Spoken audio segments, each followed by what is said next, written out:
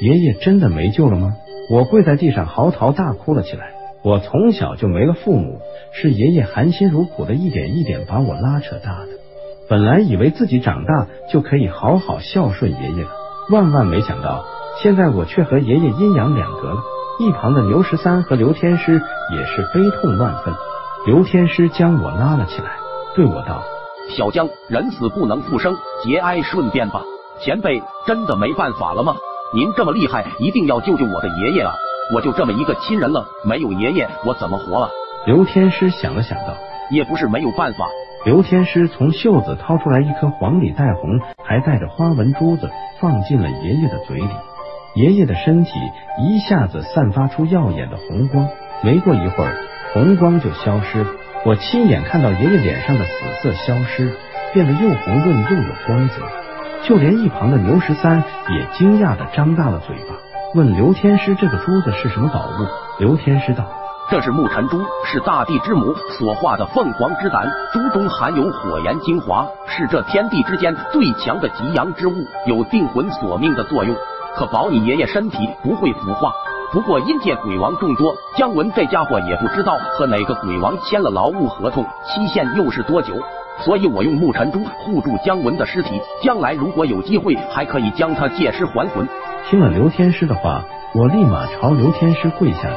前辈，您的大恩大德，晚辈没齿难忘。经历了这么多事情，我深深意识到没有力量有多么无力。我想拜您为师，学习法术，保护自己的亲人。师傅在上，请受徒儿一拜。说完后，我便朝刘天师磕起了头。刘天师赶忙将我扶了起来。就这样，我成了刘天师徒弟。随后，我们就背着爷爷的尸体来到了祠堂，和乡亲们挥泪道别，离开了村子。刘天师和牛十三带我来到了鸡冠山下的一家坤坤人民大药店。牛十三跟我说道：“之所以叫做坤坤人民大药房，是因为附近有个村子叫做中分村。”随后，我们将爷爷放到了药店下的地洞里封存了起来。办完这些事，师傅把我叫到地洞里一张石床面前，说是帮我改生辰八字。石床上有一个非常大罗盘，罗盘中心一个非常小的凹槽。凹槽周围刻着十二时辰和生辰八卦图。师傅让我咬小江，快将食指咬破，往那个凹槽里滴一滴血，脱掉上衣后躺在石床上。我将上衣脱掉后，将鲜血滴在了罗盘的凹槽里。罗盘上的字没一会儿就亮起了微弱的红光，显得很是奇异。我躺在石床上后，师傅开始给我改生辰八字，说道。小江，我要用针封住你的穴位，给你改生辰八字的过程会很痛苦，你一定要忍住。没等我准备好，刘天师就一针扎在了我 CPU 上，疼得我一下就涨红了脸。好在针不多，我还沉得住。封住所有的穴位后，师傅口念一段咒语，针上边瞬间燃起蓝色的火焰，但是我并没有感到很烫。大概过了几分钟，火焰熄灭。师傅把扎在我身上的红针全部拔了下来，说道：“小江，你的生辰八字为师给你改好了，没想到还挺顺利的。”我连忙道谢。我一直都很好奇师傅和神秘人是什么关系，便开门见山的问师傅。师傅沉默了一阵，开口道：“神秘人的名字叫林开山，是我和你爷爷曾经的大师兄，生性邪恶，练习邪术，被师傅赶出山门。”后来在贵州祸害当地的百姓，滋养旱魃。你爷爷和我就去了当地，消灭了旱魃，并重伤了他。可惜的是，林开山跑了。不过从林开山身上打掉了两本道门禁书，分别是《尸鬼养成术》和《上古邪术》。再后来就是现在的事了。我听了之后大受震撼。以前的我一直以为爷爷就是一个地地道道的老农民，完全不知道爷爷还有这些经历。师傅说完后说：“让我早点休息，就回去睡觉了。”我也睡了。次日一早，我就被吵醒了。出门一看，一个光头老大爷跪在药店里嚎啕大哭，求师傅救救他的村民。师傅赶忙将老大爷扶了起来。师傅问老大爷出了什么事？别着急，有事慢慢讲。老大爷哭着说：“刘道长，我是隔壁县李中分村的村长。就在五天前，我们村子不知道得罪了什么东西。”一夜之间，村里人的中分头全被剃光了狗头。因为当时没有村民出事，我们也就没太在意。但是这五天之内，村子里的人接二连三的领盒饭，有的 CPU 直接和身体分开了，有的人皮肤直接被扒拉下来，还有的肚子里的零件被掏空了。总之凉的特别凄惨。就因为这件事，搞得村子里的人人心惶惶。您一定要救救我们呀！师傅听说后，当即表示去村子里看看到底怎么回事。在老村长的带领下来，到了中分村。刚到中分村的村口，就看到了一群宪兵队的。刚到村子就看到一群宪兵队的人，我看到那些宪兵队的人背着枪，脸色都不是很好看。这时出来一个队长，竟然是之前在蔡徐村遇到的那个小队长。队长见到刘天师大喜，赶忙迎了上来，说道：“刘天师怎么会来到中分村呀？难道是未卜先知，预料到我现在正被一个很棘手的案子缠身？”刘天师笑道：“你就别舔我了，是中分村的村长向我求助的。”队长对我说道：“那蔡徐村的事情解决了吗？”我说道：“解决了，我现在是刘天师的徒弟了。”队长说道：“原来如此，我们对这个案子根本就摸不到头脑。即便是每天在村子里守着，第二天依旧有人莫名其妙的惨死，会不会是飘子出来作祟的？这种事情我也不敢反映给上级，毕竟上级也不一定会信这种东西。刘道长，你这么厉害，一定要帮我解决这件事情。”需要啥帮助，尽管说。”刘天师说道。“放心，既然我接手了这个案子，这里的百姓不会再死伤一个了。你们就先回去吧。”队长听到后也是泪如泉下，向师傅道谢了几句之后，便带队离开了村子。刘天师对村长说道：“老村长，村子里的这种情况叫鬼剃头，尸鬼会在半夜故意剃光你们的头发。”在你们的 CPU 上流上尸油，等到尸油把人体的阳气侵蚀干净，就会来取你们的性命。村长一听，吓得赶紧狂摸自己的脑门，随后说道：“这这这 CPU 上光溜溜的，啥也没有啊，哪来的尸油？”刘天师说道：“那是因为尸油已经入体了，现在要做的就是把剩下的村民集合起来，帮你们把尸油驱除。”随后，村长就把村里被剃光头的人召集了起来，来到了村里的中分广场。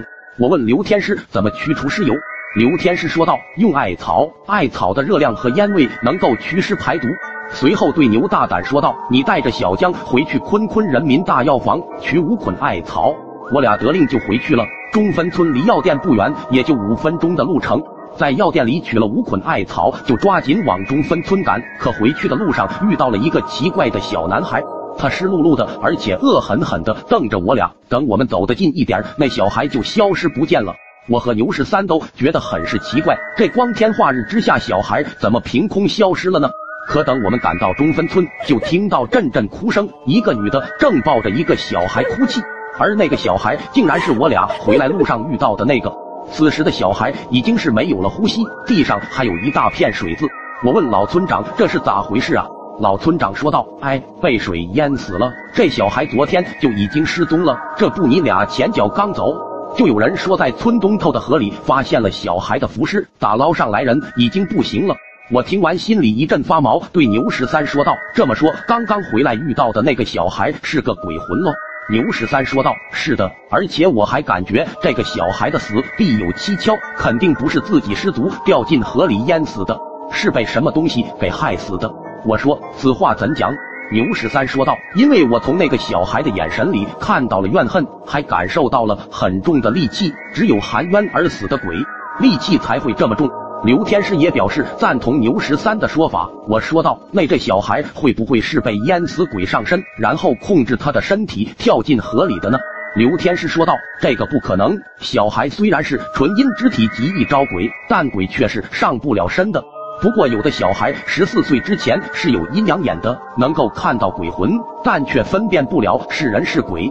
我看小孩极有可能是被鬼迷惑进了水塘玩耍给淹个屁的，而且这个鬼很有可能是个女鬼，看到小孩激发了他的母爱情怀，然后把小孩给带走了。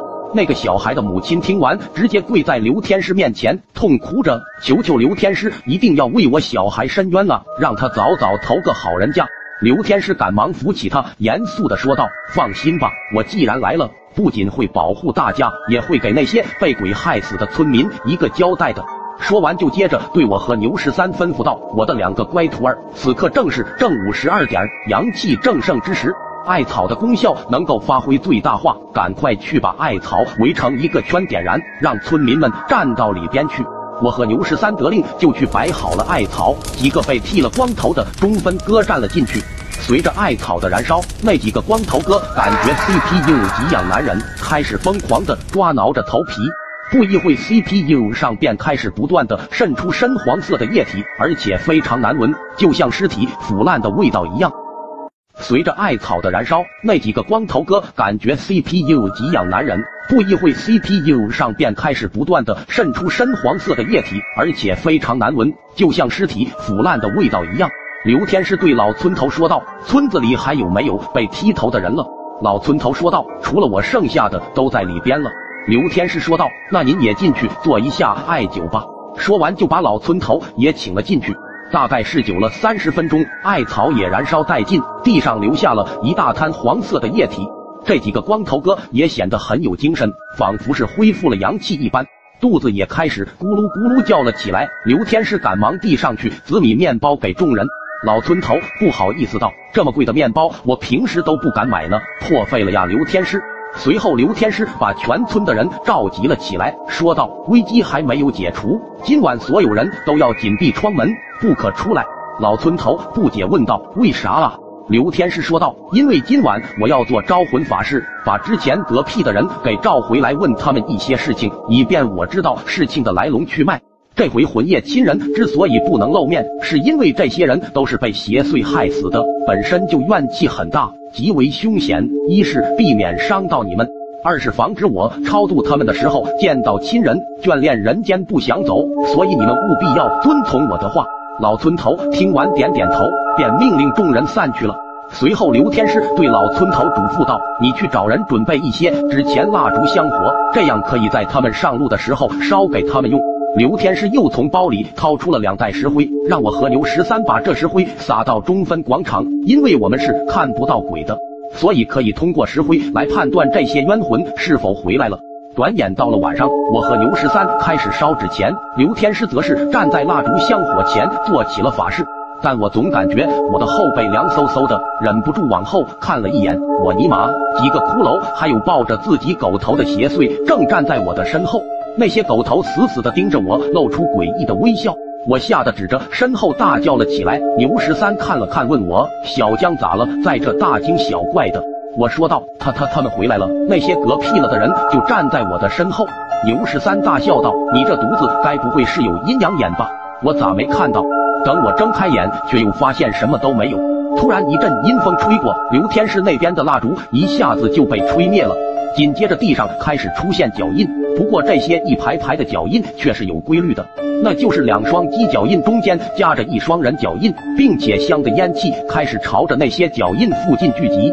刘天师小声说道：“他们来了，正在吸食我们的香火。”小江十三，赶快继续烧纸钱贿赂鸡脚鬼差大人。我不知道刘天师说的鸡脚鬼差是个什么玩意，开始疯狂往火里扔纸钱。刘天师开始嘴里念起了咒语，最后大喝一声：“鸡脚鬼差现！”我不知道刘天师说的鸡脚鬼差是个什么玩意，开始疯狂往火里扔纸钱。刘天师开始嘴里念起了咒语，最后大喝一声：“鸡脚鬼差现！”随后眼前就出现了好几只鬼差，这是我长这么大第一次见到鬼差。他们长着鸡的身体，人的脑袋，身上还披着像盔甲一样的鳞片，手里拿着钢叉。而在他们中间的就是那些被邪祟害死的村民了，他们满脸凶相，浑身都充满着煞气。其中一个鬼差看着我们说道：“大胆刁民，何事把我们召到此地？”刘天师听到，赶紧命令我俩继续烧纸钱，不要停。那几只鬼差见我俩继续烧着纸钱，脸色也瞬间变得好看起来。刘天师就向鬼差说道：“犄角鬼差大人，今日无意冒犯，主要是有邪祟在此地作乱。”想跟这些死去的村民简单寒战几句，查明死因，让其安心上路。看在我的两个徒儿这么卖力给大人们烧纸钱的份上，通融通融吧。其中一只鬼差说道：“人鬼殊途，两界互不干涉，你不要为难我们了。”刘天师冷冷笑道：“钱在三界都是万能的，如果不是，那就是钱还不够多。你俩加大马力给我烧钱。”随后，我和牛十三就疯狂的朝火堆里扔纸钱。带头的鬼差也是看到了我们的诚意，说道：“这个也不是不可以。”不过最近上头查的严，只能写一个字。说完就命令村民向刘天师提供害死他们的情报。那个村民就在地上画了一朵菊花，然后这群鬼差便带着村民消失了。我俩就来到刘天师跟前，我说道：“果然有钱能使鬼推磨啊！不过这钱烧的也太不值了，整半天就给我们画了一朵菊花作为情报。”牛十三说道：“对呀，不过这菊花是啥意思？难道是凶手是用菊花杀人的？”刘天师也是思索着，随后让我把老村头喊来。我们喊来了老村头，刘天师询问道：“鬼差已经来说了，不过那个死去的村民在地上留下了这个，不知道是什么意思。”说着就着这那朵菊花让老村头看。老村头凑上前去看了看，也是思索半天，突然他面露惊色，一把蹲坐在了地上。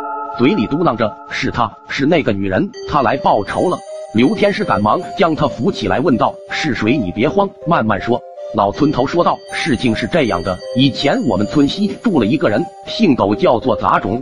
别看狗杂种长得一般，家里还揭不开锅，但却有个水灵的媳妇，叫做菊花，还给狗杂种生了个大胖小子，取名叫狗杂碎。”因此，村里的男人都很是羡慕，背地里议论纷纷，说这狗杂种不知是哪来的福分，娶了个这么水灵的姑娘。水灵个屁！知道咱村的狗剩子不？这家伙可是三天两头趁着狗杂种出去赚奶粉钱，去他家帮他照顾他媳妇呢。我看这大胖小子说不定是狗剩子的呢。这姑娘白给我，我都不要，我可没那福分戴这绿帽子。这话很快就传到了狗杂种的耳朵里，但是苦于没有证据，于是有天就跟媳妇谎称要出去几天，然后就躲到了屋子后边。到了后半夜吧，果然有个人影进了狗杂种的屋子，里边还传出了男女之间不可描述的声音。狗杂种一听，瞬间就怒了，抄起尼泊尔就冲了进去，一看正是狗剩子，怒火之下直接将狗剩子给 KO 了。面对妻子的背叛，还背上了命案，狗杂种瞬间丧失了生活的动力，把自己也 KO 了。就这样，菊花一夜之间成了寡妇，没了男人的支撑，本来家里就揭不开锅，菊花的生活一度维持不下去。村里的男人看不下去了，有的就经常晚上去菊花家帮忙照顾照顾，毕竟都是邻里邻居的。不过后来被我发现，菊花竟然跟这些男的做那种事情，按照我们的习俗，那可是要进猪笼的。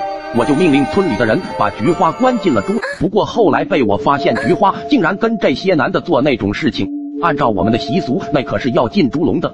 我就命令村里的人把菊花关进了猪笼里。数落菊花家里刚死了男人，就跟别的男的鬼混，简直是太不守妇道了。可菊花却很是委屈的说道：“自己是被狗剩子威胁的，如果不跟他发生那种事情。”狗剩子就会结果了，我的丈夫还有我的儿子，我也是没有办法。至于我跟其他男的鬼混，也是家里实在揭不开锅了，我不能让我儿子饿死，迫于无奈才同意他们的。求求你们放了我吧，我还有儿子还没满月，我死了我的儿子也活不了。但是我们还是抬着菊花把他扔进了河里，而且菊花弥留之际还恶狠狠地朝那几个跟他打过扑克的男人们说着：“你们都会死的，你们都会死的，我不会放过你们的。”我说道：“那之后那个小孩呢？”老村头说道：“菊花嗝屁以后，小孩不知道咋了，即便是村里的女人喂他奶水，他也不吃，直到饿死。从那以后，我们中分村每到夜晚就会出现女人和小孩的鬼叫声。那几个和菊花打过扑克的男的，可能是心虚，怕菊花变成鬼朝他们复仇，就找了个道士前来做法。那个道士就在菊花的屋子里弄了个叫什么镇魂棺，说是能镇住菊花这个恶灵。”不过从那以后，村子似乎就恢复了太平，再也没有那个女人的鬼叫了。直到前几天的鬼剃头事件，然后就开始死人了。我听后很是气愤，怪不得你们被鬼剃头，真是活该呀！都什么年代了，还有进猪笼这种恶习？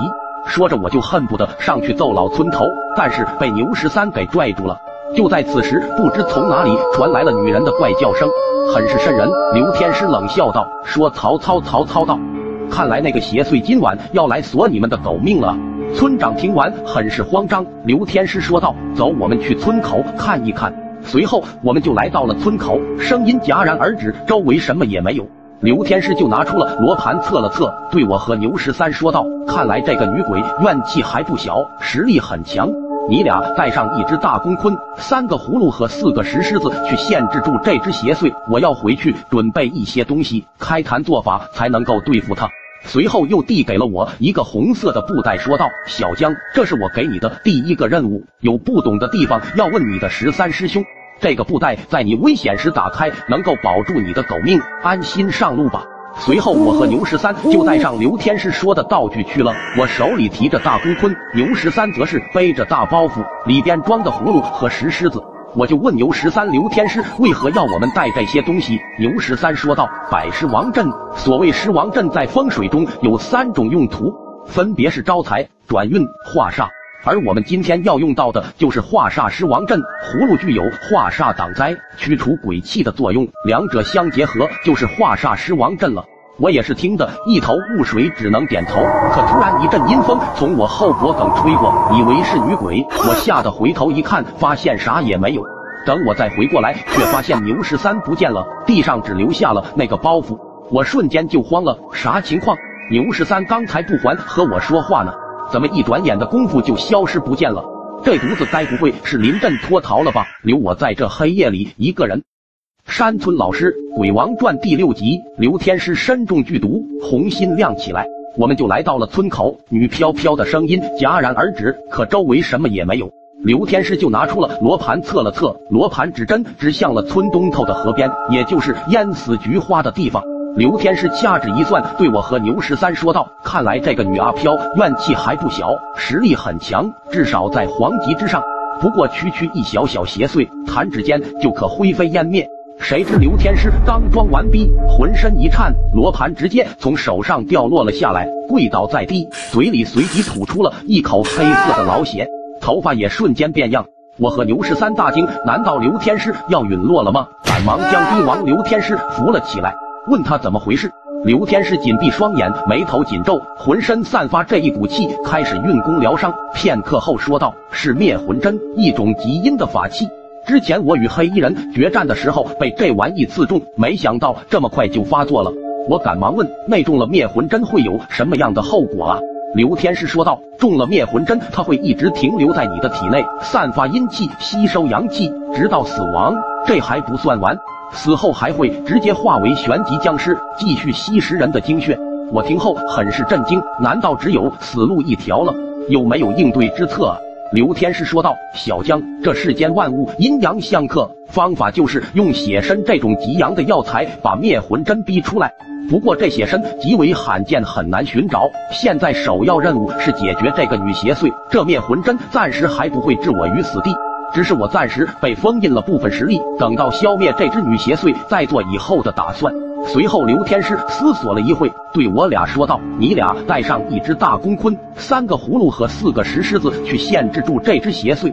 我要回去准备一些东西。以我现在的实力，为了万无一失，我得开坛做法才能够对付他。”随后又递给了我一个红色的布袋，说道：“小江，这是我给你的第一个任务，有不懂的地方要问你的十三师兄。”这个布袋在你危险时打开，能够保住你的狗命，安心上路吧。随后，我和牛十三就带上刘天师说的道具去了。我手里提着大公鲲，牛十三则是背着大包袱，里边装的葫芦和石狮子。我就问牛十三、刘天师为何要我们带这些东西？牛十三说道：“百狮王阵，所谓狮王阵，在风水中有三种用途，分别是招财、转运、化煞。”而我们今天要用到的就是化煞狮王阵，葫芦具有化煞挡灾、驱除鬼气的作用，两者相结合就是化煞狮王阵了。我也是听得一头雾水，只能点头。刚尼玛说完，身后突然传来阵阵女人的哭喊声，我的双腿被吓得不由哆嗦了起来，周围也开始弥漫起红色的雾气。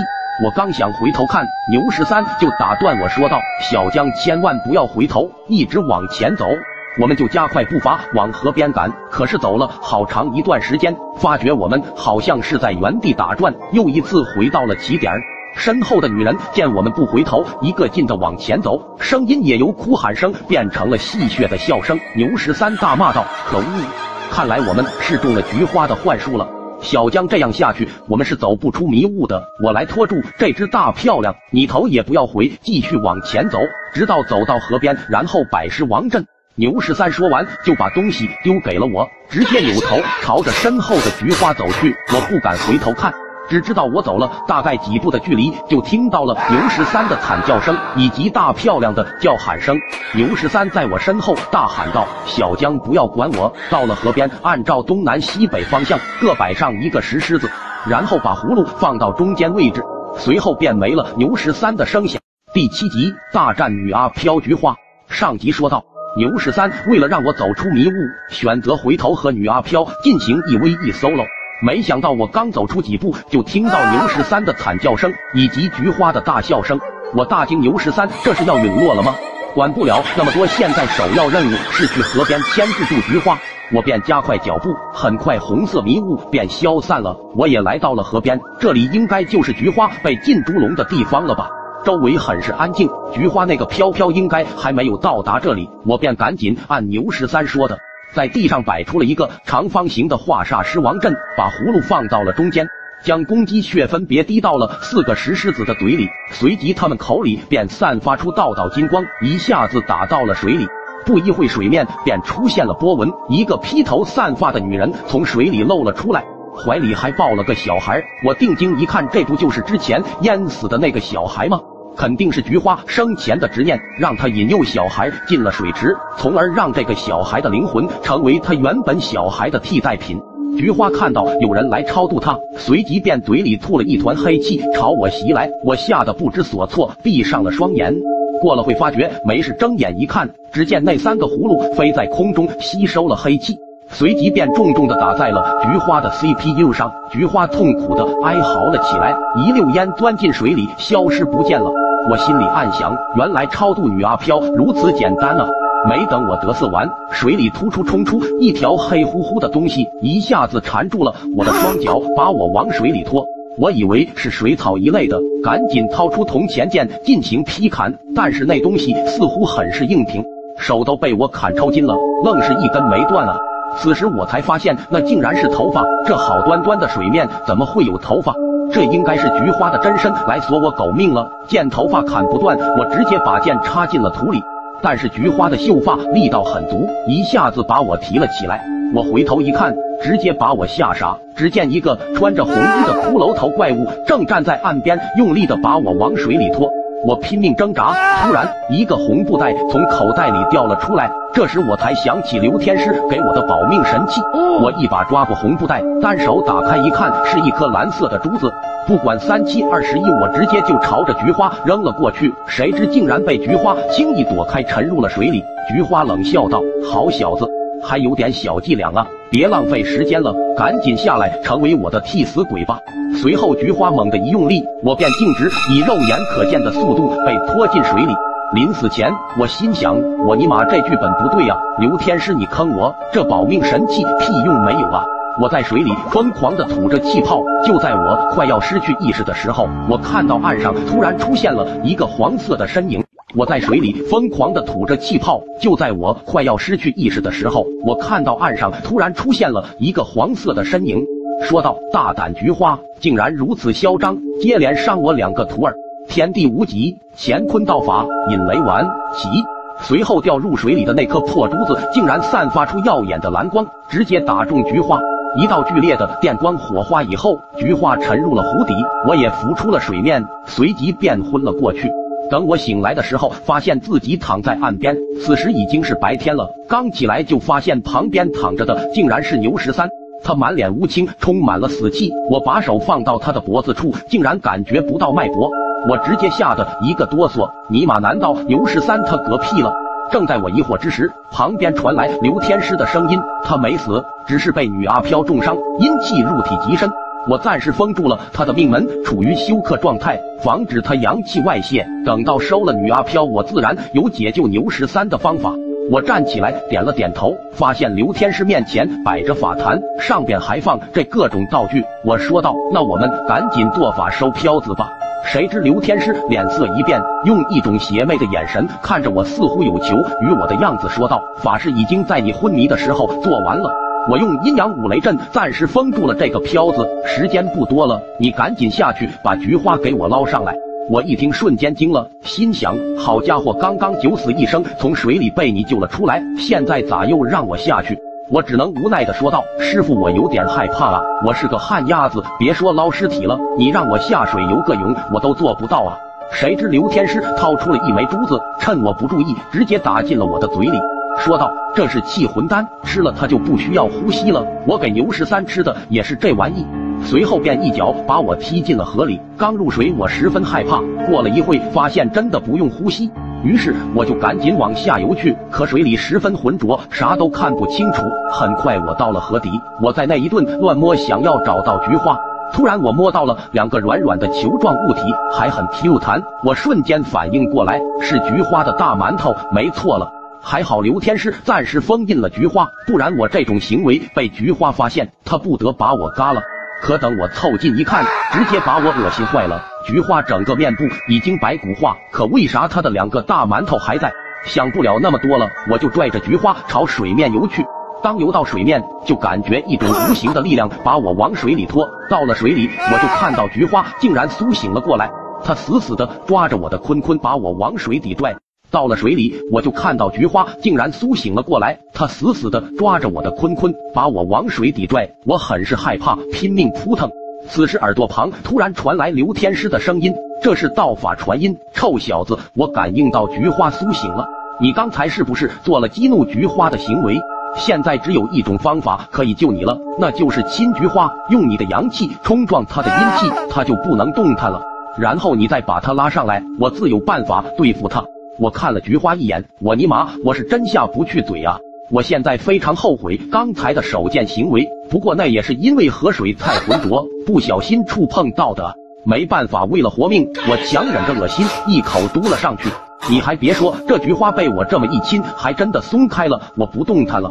我以为没事了，就准备松开，谁知这时耳边又传来了刘天师的声音：“忘了告诉你，在你把它捞上来之前，要一直亲着。”不然菊花就会再次苏醒，前功尽弃哦！我心里一阵骂骂咧咧，好你个刘天师，当你徒弟真是倒了我八辈子血霉了！我就这样一直抱着菊花往上游去，即便是游出了水面，我也不敢松口，生怕它再一次苏醒过来。我保持着亲吻的姿势走到了岸边，刘天师顺手扔了一道基尼泰美符纸，贴到了菊花的 CPU 上。一脸贱兮兮的表情对我说道：“怎么样，我的好徒儿，亲嘴的滋味好受吧？你看看，都不舍得松开嘴了。想当年为师也是这么过来的，不少女阿飘的初吻都被我夺走了呢。由于太过于沉醉，我听到刘天师的话才反应过来，已经是到了岸边。我赶忙放下这只臭烘烘的菊花，直接就吐了起来。要知道，这菊花不知在水里泡了几年了，那味道根本没办法形容。”像是大便尿液加上死老鼠的混合气味，气味中还有一丝辛辣。想必这菊花生前一定是很爱吃辣椒的。刘天师见我吐得这么厉害，扔给我一枚生姜片，说道：“生姜属于发物，属阳性，克寒，刚好驱驱你口里的湿味。”我赶忙放进了嘴里，你还别说，真挺有效果的，嘴里那股初吻的感觉瞬间没有了。随后，刘天师问我：“小江，你下去捞菊花的时候，菊花是肚皮朝上还是大腚朝上？”我想了想，说道：“当时河水非常浑浊，我也没看清楚啊。”刘天师说道：“你仔细想一想，如果是大腚朝上，那他就是个普通的红衣煞星；如果是肚皮朝上，那就麻烦了。肚皮朝上，怨气在晚上就会得以挥发，吸收日月精华。这菊花嗝屁这么久了，起实力会进化到可怕的地步呢。”即便是用三味真火烧了它，它还会化为灵体附身他人，继续危害世间。此时我看了看自己双手，突然想起我在水里的时候摸到了菊花的大馒头，那不就是正面朝上吗？一道道黑气朝着九星棺内涌入，棺材也开始疯狂的抖动起来。刘天师大惊，向我说道：“你确定菊花是正面朝上？”我不好意思的说道：“确定，因为我清晰的记得我当时在水里面摸到了菊花的大馒头呢。”说到这，我的鼻血竟然不由自主的喷涌了起来。刘天师听完，脸色一变，随即就朝我来了一发闪电五连鞭呢，怒吼道：“臭小子，都啥时候了，一个女邪祟你都不放过啊！真是个大色批，跟你爷爷一个货色啊！”此时，小江爷爷那边突然打了个喷嚏，说道：“我尼玛，哪个老东西的在说我坏话？老子都在鬼界了，还不放过我？”刘天师这边也打了个喷嚏，说道：“刚接你爷爷老底，就被这老头子听到了。”我背对的哑口无言。刘天师接着认真的说道：“按你说的，之前菊花正面朝上吸收日月精华，现在应该是玄极的存在了。我之所以能够镇住他，可能也是他刚刚突破玄极。而现在的我被那面具男的灭魂针封锁了实力，施展阴阳五雷阵已经是我的极限了。现在趁他没有苏醒过来。”我们要赶紧将他抬到村子那具棺材内，用茅山的九星阵尸棺阵法，将他的魂魄连同肉身一同封印起来才行。不然，即便是烧了他，他的魂魄也会出来继续害人呢。我有些不解的问道：“那师傅，你现在的级别是在哪个境界啊？”刘天师说道：“我原本是玄级上品天师，马上就要突破地级了。”现在给观众朋友们科普一下，在我们凡间实力的等级分为黄级、玄级、地级、天级，每个级别又分为下品、中品、上品。我点点自己的狗头，随后刘天师手指一挥，一道金光就打进了牛十三的 CPU 内。片刻后，牛十三重新焕发生机了。随后，我们三人便带着菊花的身体来到了中分村菊花的屋子。进了屋子，就看到一具寒冰大棺材。刘天师让我俩把棺材盖打开，我和牛十三用出吃奶的劲都没能推开。刘天师一掌就把棺材盖给掀翻了。随后我们把菊花翻了进去，盖上棺盖。刘天师说道：“这个屋子阴气太重，我们把棺材抬出院子。”随后我们就找来了麻绳。本以为棺材很重，没想到我和牛十三俩人便轻轻松松的抬了起来。来到屋外，刘天师掏出了九枚银针，分别扎进了棺材的四周，随后又用涂了黑狗血的红线进行缠绕，链接了九枚银针不说，甚至将棺材都包裹了起来，口念一道咒语，顷刻间红线便散发阵阵光芒，就感觉阵阵热流在不断的朝着棺材内涌入，我感到十分震惊。刘天师得意的解释道：“九星阵尸棺原理就是九枚银针吸收聚集这世间的阳气。”然后将阳气汇入棺内，以镇关中之邪祟，再加上黑狗血，能够阻隔阴阳两气，阴气不能入内进行调和，而阳气又不断的涌入棺内，即便是这棺内的邪物再厉害，久而久之也会被阳气冲得灰飞烟灭，消失在这六道之中呢。我和牛十三纷纷对着刘天师一顿跪舔，刘天师牛逼六百六十六啊！就在我们几人以为大功告成的时候，不知从何处传来了一道声音。没想到这小小中分村还有如此高人。鬼王第一世，百鬼十日，阴煞冲关。话音刚落，就看到无数的魂魄朝太阳聚拢，顷刻间便使我们陷入黑暗之中。与此同时，一道道黑气朝着九星关内涌入，棺材也开始疯狂的抖动起来，仿佛有什么东西要出来一样。刘天师顿时慌的一批，大喊道：“不好，九星镇尸棺要被摧毁了！你究竟是何方妖孽？”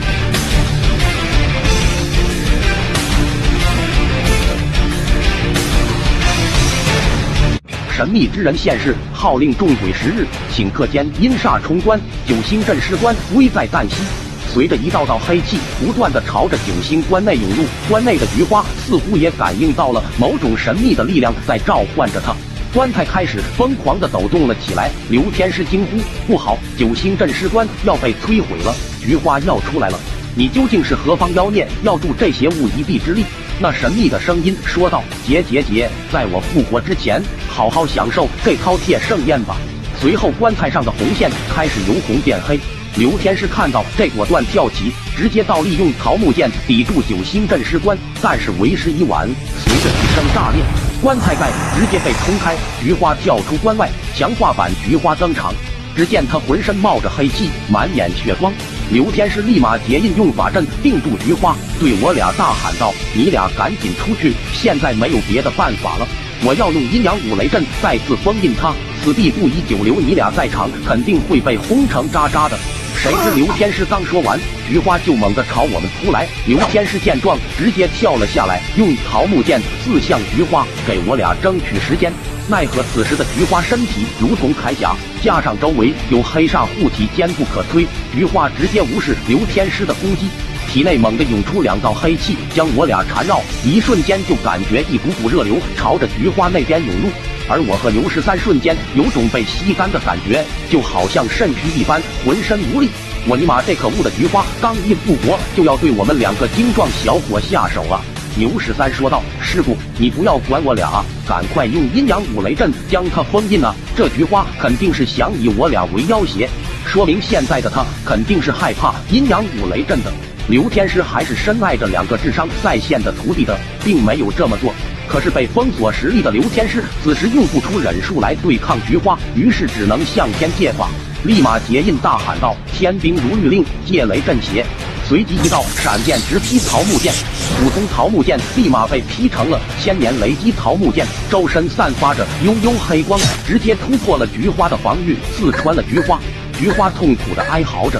我俩也得以逃了出去。随后，刘天师立即用出阴阳五雷阵，没想到此时的菊花方才吸收了我俩的部分阳气，刚好突破了玄级。菊花一声怒吼，直接冲破阵法，刘天师也被震飞了出去，掉落在了我和牛十三的面前。二十米自由落体的刘天师摔得直接一口老血吐了出来。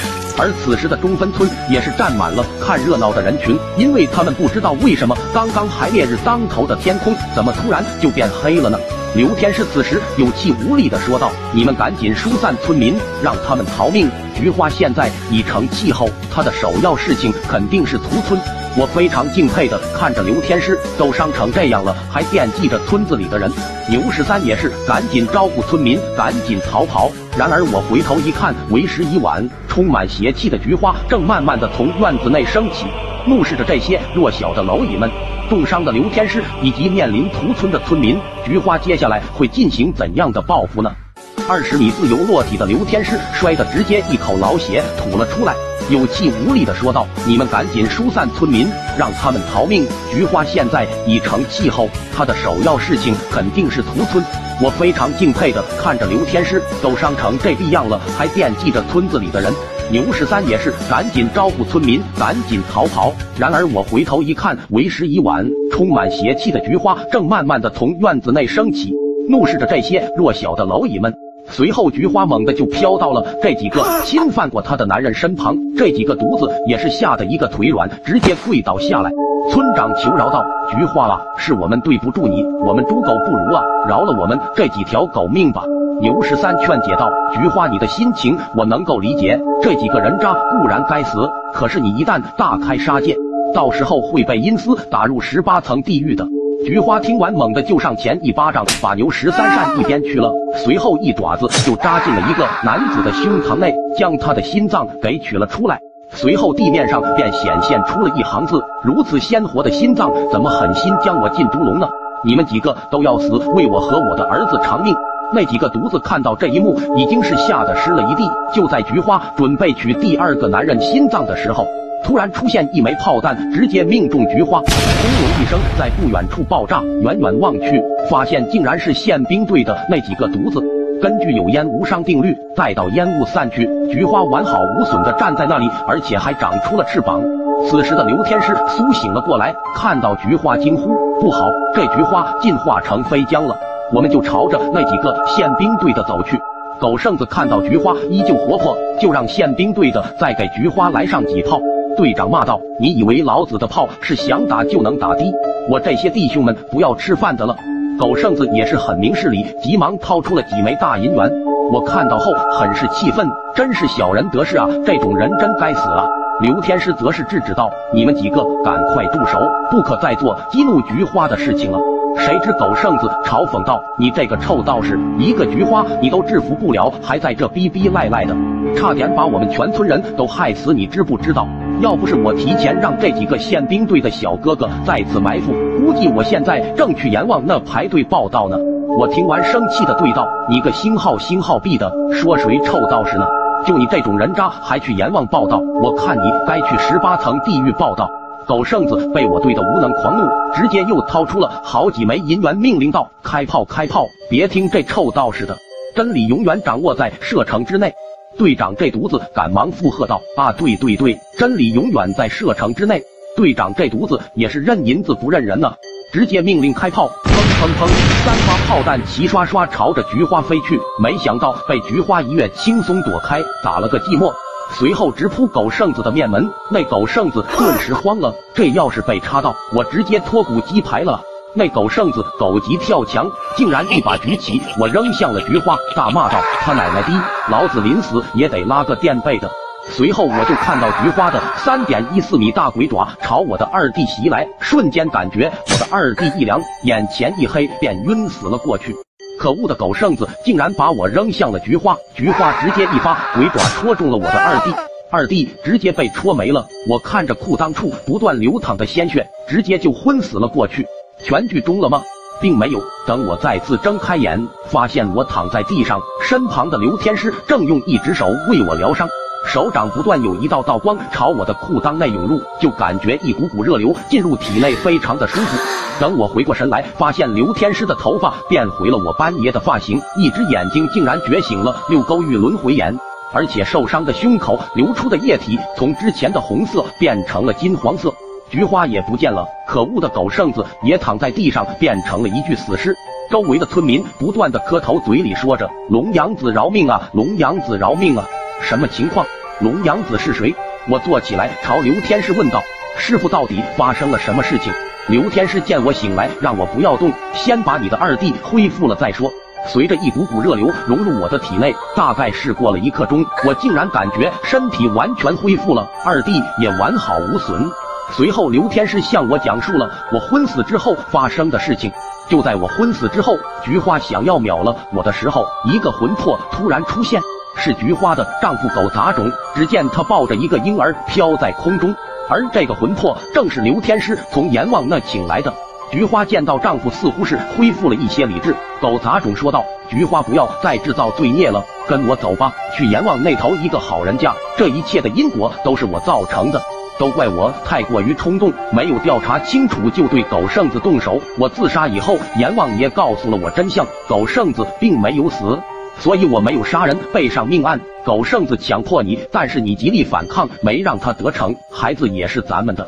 阎王说，只要你能跟我去地府，我们下辈子还能做夫妻。而那个害我们的狗剩子死后，让他下地狱。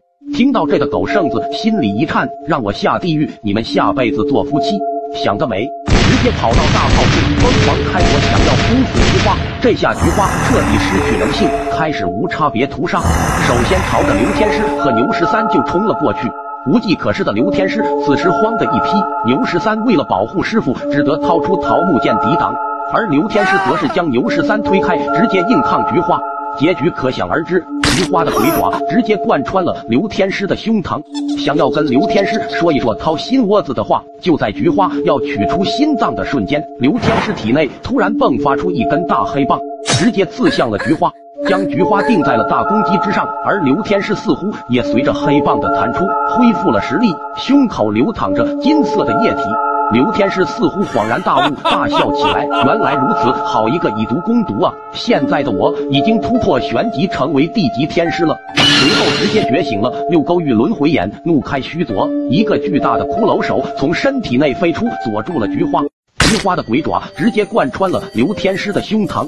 想要跟刘天师说一说掏心窝子的话，就在菊花要取出刘天师心脏的瞬间，刘天师体内突然迸发出一根大黑棒，直接刺向了菊花。被面具男封锁的实力瞬间恢复，刘天师大笑起来：“菊花，我真是要谢谢你十八辈祖宗啊！正是因为你掏了我的心窝子，直接把我体内的灭魂针给逼了出来，现在的我已经突破玄级，成为地级天师了。”随后，刘天师直接觉醒了六勾玉轮回眼，怒开须左，一个巨大的骷髅手从身体内飞出，锁住了菊花，冷冷说道：“我乃地级天师龙阳子，菊花，我命令你现在即可立即马上斩断世间因果，舍弃肉身，去往地府投胎。伤害你的人，我自会惩戒，还你一个公道；否则，我将立刻用十全剑将你封印。”说完，一个巨大的葫芦剑就显现了出来。恢复理智的菊花嘶吼道：“我不，我要亲手杀死这些害死我的人！”刘天师见菊花执迷不悟，十拳剑直接就刺了过去，但被菊花的丈夫挡在了面前，求刘天师放过菊花。菊花只是暂时被仇恨蒙蔽了心智。刘天师也是不忍心封印这苦命的一家，直接猛地一发十拳剑就刺进了狗剩子的身体内。反应过来，狗剩子痛苦的嘶吼着。刘天师淡淡的说道：“现在可以去投胎了吧？”看到如此杀伐果断的刘天师，菊花选择相信刘天师是一个为民除恶的好天师。一个灵魂直接从菊花体内飘了出来，说道：“天师，我相信你会还我们家一个公道。”随后，温馨的一家三口慢慢的飘向了空中。而狗剩子这边，龙阳子直接将他的魂魄用十拳剑抽离了出来，狗剩子随即倒在了地上。刘天师冷冷的说道：“封印，想多了，那对你来说算是宽恕了。我要让你灰飞烟灭，从六道之中消失。”狗剩子的鬼魂听后，直接被吓出了鬼尿，哭爹喊娘的求刘天师放过他吧，下辈子投胎给刘天师当牛做马。牛十三直呼刘天师好牛逼呀，鬼尿都给他吓出来了。师傅，你不要听他的，此人本心极恶狗，改不了吃屎。他死后肯定不会安心投胎，还会变成恶鬼回来报复。刘天师听完，直接发动瞳术，六根黑棒凭空出现，直接深深刺进了狗剩子的身体内，随后用出了灭魂天照，一发黑炎在狗剩子的魂魄上烧了起来。狗剩子的惨叫声响彻了天地，那几个村民也是吓得一个腿软，纷纷跪倒，求龙阳子饶他们狗命一条。宪兵队队长直接吓出一身冷汗，什么狗屁真理，永远在射程之内，真理在须佐能乎之中。说完，直接带上家伙溜没了。然而让刘天师没有察觉到的是，已经没有灵魂的菊花体内流出了一滩黑色粘稠的液体，慢慢的渗透进了土里，消失不见。我听完之后很是高兴，太好了，刘天师终于恢复实力了，这下就不用去寻找什么血参了。刘天师点点头说道。血肾倒是不用寻找了，不过这个菊花似乎只是一颗棋子罢了。破解九星阵尸棺幕后的那个黑手还没有出现，我们还不能松懈，要赶紧调查这个家伙，趁他没有复活之前把他灭了，不然他肯定还会继续祸乱村子的。我和牛十三点点自己狗头，随后刘天师就让众人起来，让他们好生厚葬菊花他们一家。还吓唬村长，如果稍有懈怠，菊花还会回来复仇的。吓得村长赶紧命令众人抓紧干活厚葬菊花。随后我们就回了药店，刘天师让我和牛十三先去休息，他要暂时闭关修炼，期间务必不要打扰他。我和牛十三由于太累，一直睡到了第二天下午，直到被一阵急促的敲门声吵醒，来到大厅就看到一个村民焦急的说道：“不好了，不好了！”村长的女儿小月好像是中邪了，见人就想咬上一口，七八个壮汉才把她控制住。你们赶紧去看看吧！我和牛十三大惊，难道幕后黑手又来捣乱了吗？他脸色苍白，满眼血光，嘴里好像还长出了大獠牙。一个浑身是血的村民焦急的说道：“不好了，不好了！村长家的女儿任小月好像是中邪了，见人就咬啊！”我和牛十三听后大惊，难道这么快幕后黑手就来捣乱了吗？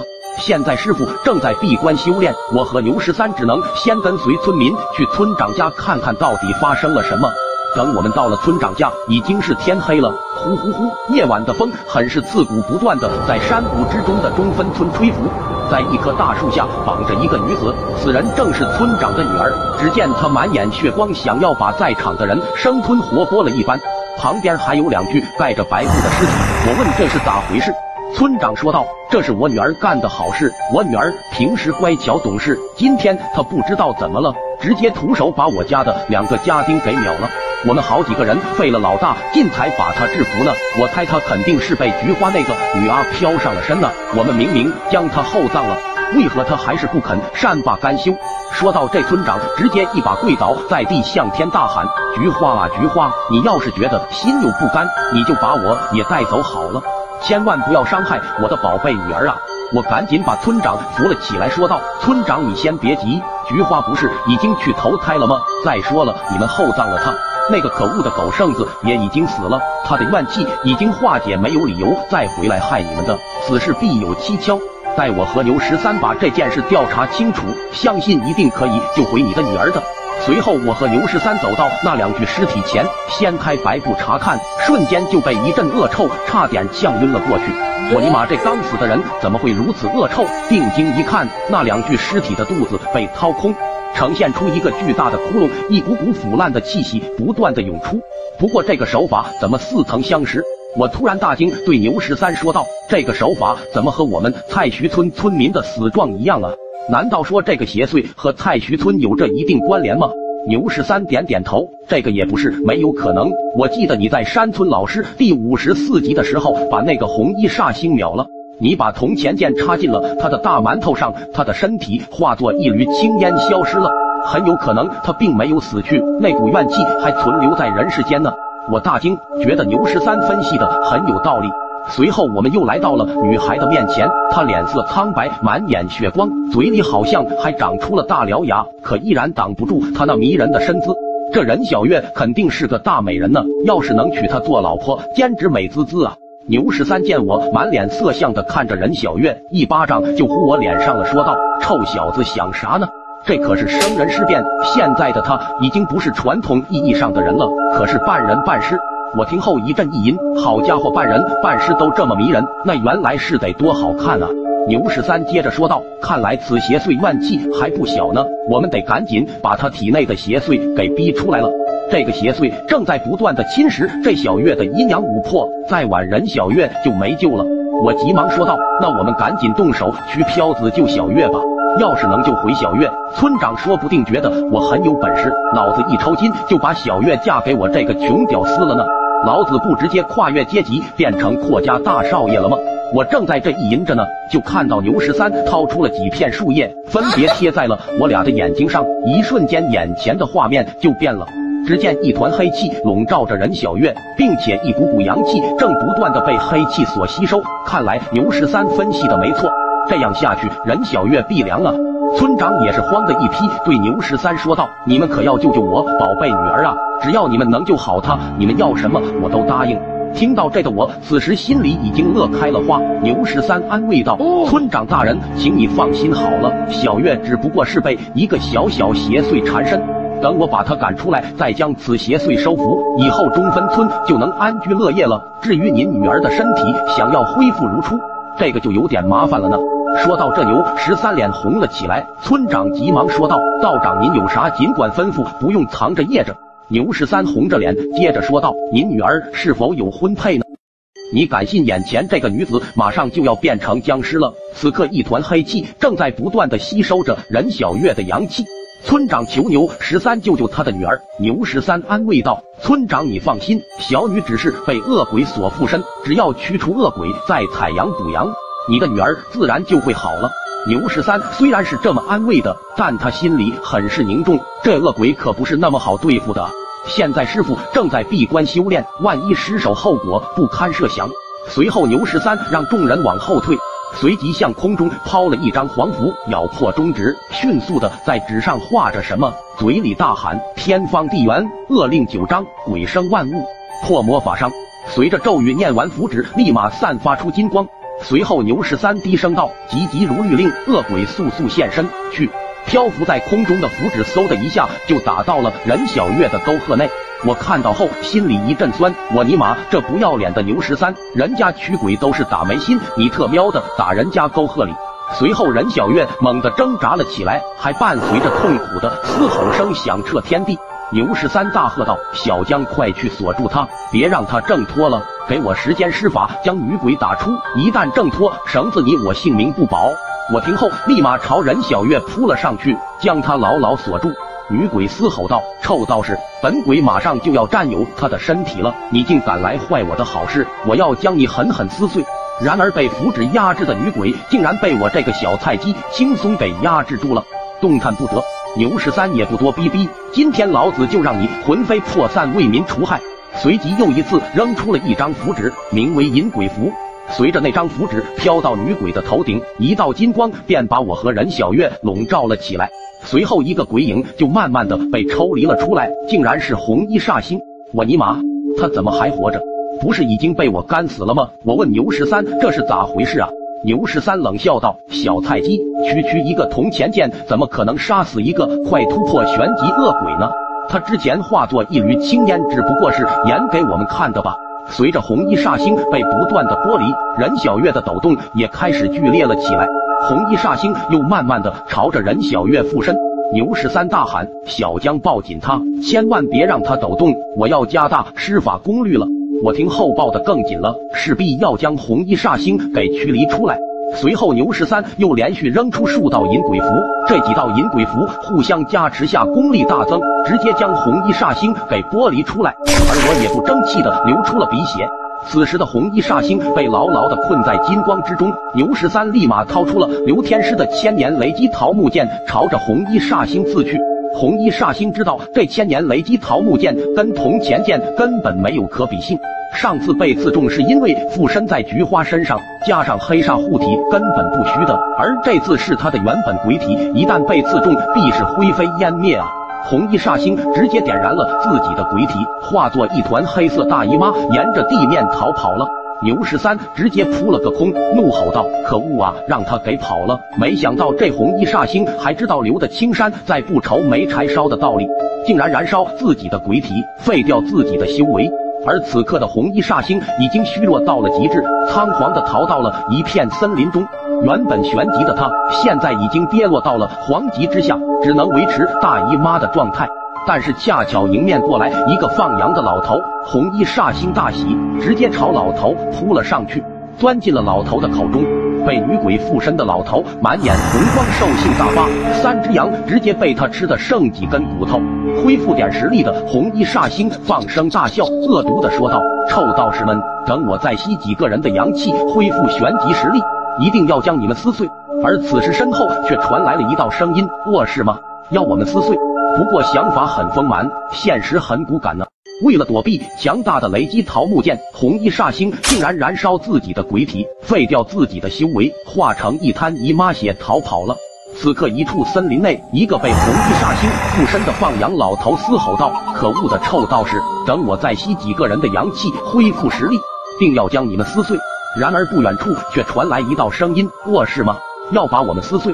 不过想法很丰满，现实很骨感呢。”红衣煞星大惊，瞬间慌的一批，因为这个声音他再熟悉不过了，正是已经觉醒轮回眼的刘天师。刘天师慢慢朝着红衣煞星逼近，嘴里说着：“我原本以为在我和面具男决战的时候，小江已经把你杀死了，没想到我大意了，让你活到现在。菊花的暴走也是你在搞鬼吧？”说完，直接对他起火，强大的气势直接把红衣煞星吓得跪倒在地，颤颤巍巍的说道：“刘天师，你不能杀我！如果不是我控制菊花掏了你的心窝子。”把面具男的灭魂针从你的体内给逼出来，你能有现在的实力吗？刘天师冷笑道：“你是想杀死我才掏的我心窝子吧？没想到搬起石头砸了自己的脚，弄巧成拙，让我恢复了实力吧？况且我上次已经放过你一次了，这次我真的想不出什么理由不杀死你哦。”刘天师见红衣煞星一脸懵逼，接着说道：“之前处理完菊花的事情，你变成大姨妈逃跑，你以为我不知道？”只不过当时刚恢复实力，封印完狗剩子已经虚脱的不行了，没来得及好好谢谢你。今天我特地来送你上路呢，去死吧！说完，一发十拳剑就刺穿了红衣煞星，但被狡猾的红衣煞星鬼体出窍躲开了，正要逃跑，刘天师直接用出灭魂天照，下一刻，黑色的火焰在红衣煞星的鬼体上烧了起来。红衣煞星痛苦的嘶吼着：“邪晕鬼王，快救我啊！邪晕鬼王，救我啊！邪晕鬼王马上就要复活了，邪晕鬼王是不会放过你的。今日我虽死，但仍是鬼界霸王。”下一刻，红衣煞星在黑色火焰的燃烧中彻底消散成虚无。然而，刚才红衣煞星嘶吼声所发出的声音是一种跟鬼王沟通的鬼语，在刘天师耳中只不过是临死前的惨叫罢了。因此，刘天师并不知道什么邪云鬼王的情报。随后，刘天师施展治疗术医治受伤的老头，可突然身后一发黑棒朝着刘天师刺来，想要掏刘天师的心窝子。察觉到的刘天师反应很快，怒开虚左抵挡，冷笑道：“又是掏心窝子，又他奶奶的掏心窝子！老子都被掏出免疫能力了，能不能换点别的下三滥的手段？”身后一个熟悉的声音传来：“哦，下三滥。”堂堂轮回眼的刘天师，竟然连我的虚体都判断不出来。刘天师大惊，回头一看，竟然是面具男。你不是已经被尸鬼封禁给封印了吗？怎么会在这里？不过冷静下来的刘天师发现，这个面具男只不过是一个投影，根本伤害不到自己。可恶啊！被面具男摆了一道。面具男冷冷说道：“少废话，是时候还债了。”说完便慢慢消失了。刘天师怒吼：“别走，把话说清楚！”但是面具男并没有鸟他。刘天师意识到，面具男虽然被姜文的尸鬼封禁给封印，但他似乎并没有真正的消失，而且还正在试图突破封印。一场更大的危机即将到来。而牛十三这边并不知道刘天师已经灭了红衣煞星，被驱除邪祟的任小月依旧昏迷的躺在床上。村长很是着急的说道：“这邪祟不是被你打跑了吗？怎么我女儿还不苏醒啊？不会有什么事吧？”牛十三说道：“村长你放心，任小月刚刚被驱除邪祟，阳气受损，只要补充阳气便可恢复。”说着就掏出了一根壮阳香，说道：“这是聚阳香，把它点燃就能汇聚阳气，被你女儿吸收了。”随后对我说道：“小江，你是个精壮小伙，阳气足，能够让房间充满阳气。你在这留下来照顾任小姐，聚阳香的功效会大大加倍。我这边要去找夏师傅帮忙，毕竟红衣煞星现在出逃，指不定又到哪去害人呢，得赶紧把他收拾了再说。”我听后很是高兴，赶紧点头答应。随后牛十三就和村长来到了院子内，掏出两张定尸符贴在这两具尸体上。吩咐村长他们看好尸体，另外不要进屋，否则聚阳香的功效会大大衰减。随后就去找刘天师了。屋子内的我看着任小月的大馒头，身体不知道为啥开始燥热了起来，好想对任小月做点什么不测描述的事情啊！我怎么会有这种邪恶的想法？难道跟这壮阳香有关系？我正想着呢，突然任小月浑身发抖，嘴里还不知道小声说着什么，我听不清楚，就凑上前去。就听到任小月说着：“冷，好冷，我好冷啊！这是哪里？”我说：“这是你的闺房啊，任小姐。”但任小月依旧寒冷，我就打算上前给任小月盖一盖被子，谁知刚一触碰到被子，就被任小月一把手死死抓住，瞬间感觉他的手冰凉彻骨。我尼玛，这逼养的是在吸食我的阳气啊！这可不行啊！再这样下去，我会被冻成冰雕的。刚才还对任小月想入非非的，我瞬间清醒，直接奋力挣脱，但身体还是感觉冷冰冰的。反观吸了我的阳气的任小月，这会也不寒冷了，睡得老香了。我心里骂道：可恶的牛十三，说是让我给任小月补充阳气，我以为今晚能跟任小姐发生点什么呢，竟然差点要了我的命啊！再待这屋子会不会折寿啊？想到这，我就赶紧走到门口，想要出去。刚准备打开门，就听到门外传来一个声音，惊慌的说道：“村村村长，你快看那两具尸体啊！我怎么看到有一具尸体在动啊？”我大惊：“什么尸体在动？难道是药师变了吗？”村村村长，你快看那两具尸体啊！我怎么看到有一具尸体在动啊？我大惊：“什么尸体在动？难道是药师变了？”随后就听到一声惨叫声，然后就是鲜血迸发出来的声音。我知道这是僵尸咬断了人脖子，正在吸食鲜血呢。我很担心村长想要打开门，谁知门竟然被锁上了。此时外边两个僵尸分别吸食这一个人的鲜血，加上吸收日月精华，实力迅速暴涨。村长吓得和另外几个家丁赶紧逃到了大树上。下边两个吸食完血液的僵尸开始寻找新的猎物。其中一个家丁小声说道：“村长大人，赶紧屏住呼吸，这样他们就发现不了我们了。”但是不知情的我开始疯狂踹门，想要出去救村长他们。巨大的声音吸引了这两只僵尸的注意，突然砰的一声巨响，门上赫然出现两只鬼爪。我掏出随身的铜钱剑就刺了上去，没想到这只僵尸竟然不怕铜钱剑，直接破门而入，朝我扑来。我吓得急忙往后退。此时我看向了任小月，想都没想，一把钻进了任小月的被窝。我尼玛，那两具僵尸也紧跟着跳了过来。不过好在是任小月的躯体现在已经是半人半尸状态了，刚好覆盖了我的人气。那两个僵尸嗅着鼻子，这闻闻那闻闻没找到，我就朝门外跳走了。但是，一直躲在任小月被窝也不是个办法啊。此时的我感觉身体异常冰凉，阳气正在不断的被吸收着。再这样下去，必死无疑啊！出去要被僵尸咬，难道已经成了死局了吗？而牛十三这边同样也遇到了危险，随着一阵寒风吹过，让牛十三这个修者都不禁浑身一颤。牛十三警惕的看了一眼周围，发现什么也没有。就在牛十三打算继续赶路的时候，身后菊花一紧，一只冰凉的手搭在了自己的肩膀。牛十三猛地转头，发现竟然是一只可爱的妹子。很显然，牛十三已经被这个女鬼给迷惑住了。看来这只鬼的修为在牛十三之上。随后就领着牛十三朝身后的大花轿上走啊！牛十三这个大色批竟然直接跳进了花轿，开始和这个女邪祟瑟瑟起来。花轿在两人的剧烈运动之下疯狂的抖动着，大概是过了三秒钟吧，抖动就结束了。女鬼失望的一脚将牛十三给踢了出去。而然就在此时，一个戏谑的声音从空中传来：“呦呦呦，十三徒儿，你艳福不浅啊！大半夜来找为师，竟然还有女鬼临幸呢！”牛十三听到师傅的声音，赶忙跟师傅解释一番：“师傅，你闭关修炼结束了，我正要去找您了，可半路遇上个可爱漂亮妹子，我正打算送她回家呢。”刘天师冷冷说道：“可爱妹子，送她回家？那你们在花轿上边震动什么呢？”你再回头看看你身后的是什么？牛十三回头一看，直接脸色煞白。只见一张半脸腐烂的红衣厉鬼正站在自己的身后。牛十三一拳朝女鬼袭去，没想到直接被弹飞了出去。师傅，这女鬼恐怕得有玄级境界了啊！女鬼怒吼道：“牛十三，你个大渣男，白嫖完本姑娘就翻脸不认鬼了是吧？”刘天师也不多逼逼了，直接掏出十拳剑，怕他个锤子，封印不就完事了吗？说着就刺向女鬼，没想到竟然被四只小鬼给轻松挡了下来。其中一只小鬼怒吼道：“臭道士，活腻歪了吧？知道我家主子是谁吗？谁不谁你都敢封印的？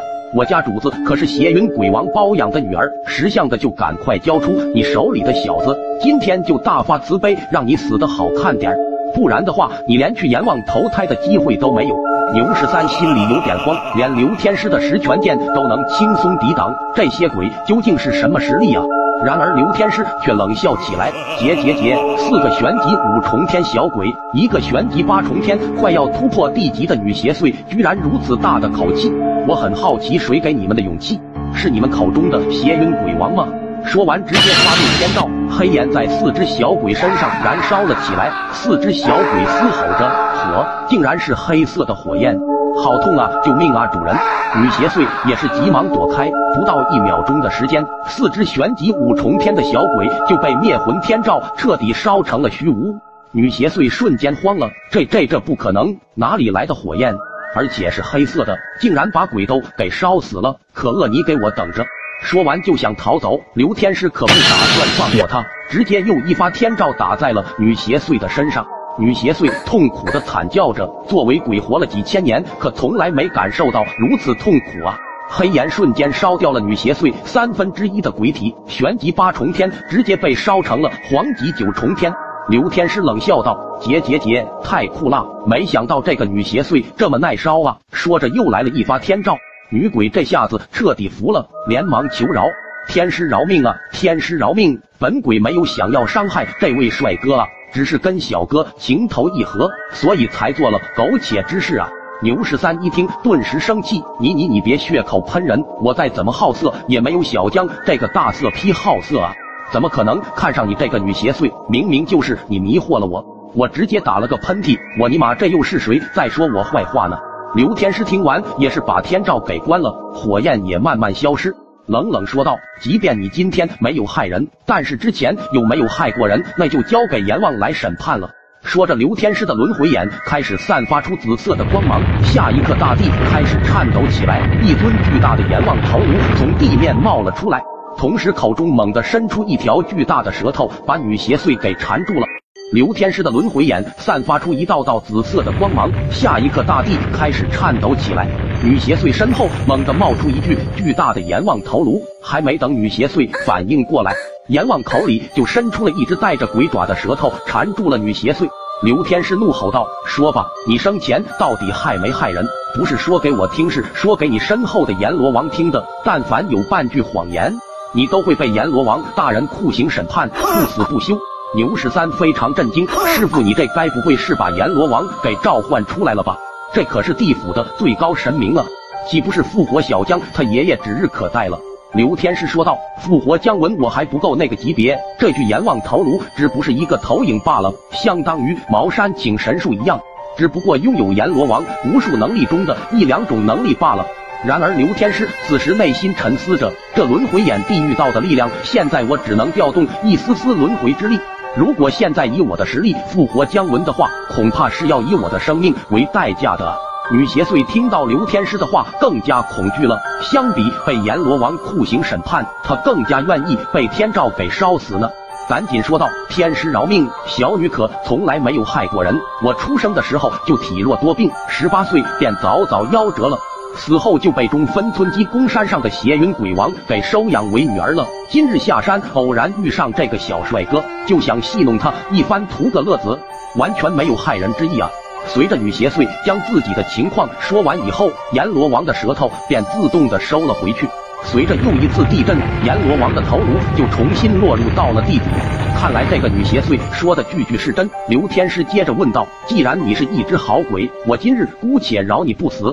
但是你口中的邪云鬼王到底是个什么存在？”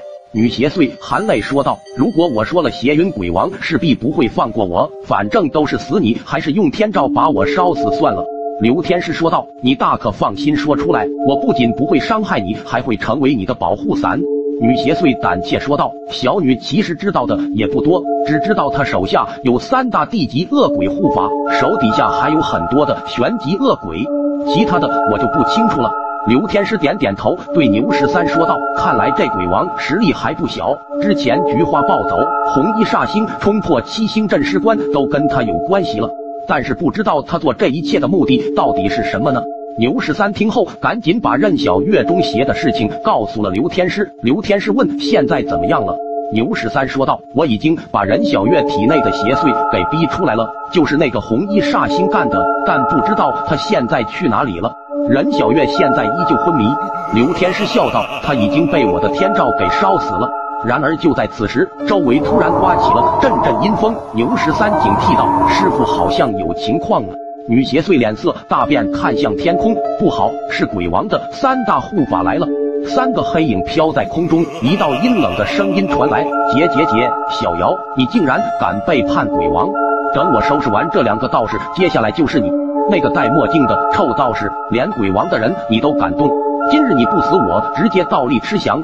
随即，一个黑影就朝着刘天师冲来，速度很快。刘天师立马用天照进行攻击，然而黑影猛的一个瞬移，竟然躲开了天照，凭空消失了，猛地出现在刘天师身后。随后一发黑虎掏心，直接掏了刘天师的心窝子。刘天师一口老血直接吐了出来。牛十三和女邪祟也被一股强大的气流冲散了数米远。这难道就是地级强者的战斗吗？鬼王大护法冷笑道：“结结结，区区一个黄级小道也敢在我面前装十三？